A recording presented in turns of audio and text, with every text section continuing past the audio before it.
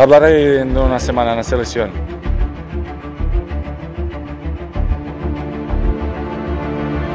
No es el momento cierto para, correcto para, para hablar.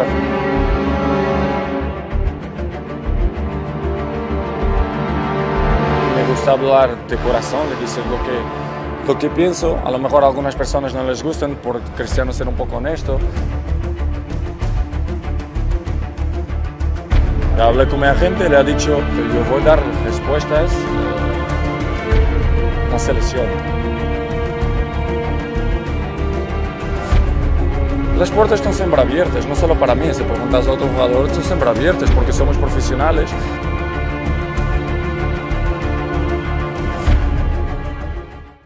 Según informa el diario Marca, la Juventus está cerca de cerrar un acuerdo con el Real Madrid para que Cristiano vista la camiseta bianconera a partir de la próxima temporada. El acuerdo se cerraría en torno a los 100-120 millones de euros y la Juve ofrece a Cristiano cuatro años de contrato y 30 millones de euros por temporada.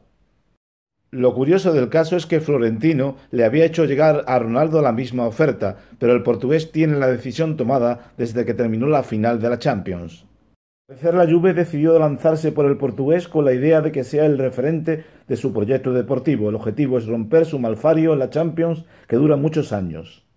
Los italianos han pescado en un río revuelto donde las desavenencias entre Florentino y Cristiano, económicas y relacionales, le han puesto a tiro al luso.